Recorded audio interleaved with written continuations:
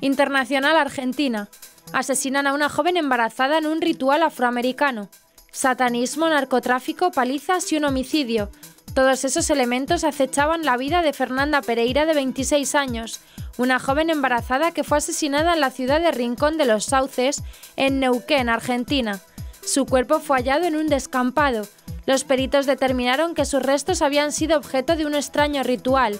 Con tablas, partes de palet, gomas y grandes cantidades de combustible, la joven madre fue reducida a cenizas.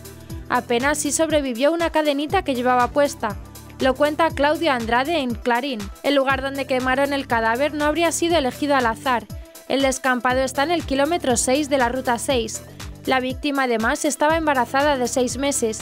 Para los investigadores se trata de un gesto cruel y morboso dedicado al 666, el número bíblico de la bestia. Por el brutal homicidio fueron detenidos tres sospechosos, su expareja Luciano Hernández y dos amigos de él, Osvaldo Castillo y Diego Marillán.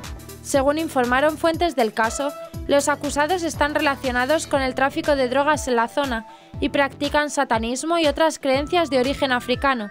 Por eso los investigadores creen que la víctima fue sometida a un ritual en el que se involucró a San la Muerte, el santo de los narcotraficantes, y a Destran Carrúa, entidad relacionada con el Kimbanda, un culto sincretista de origen angoleño.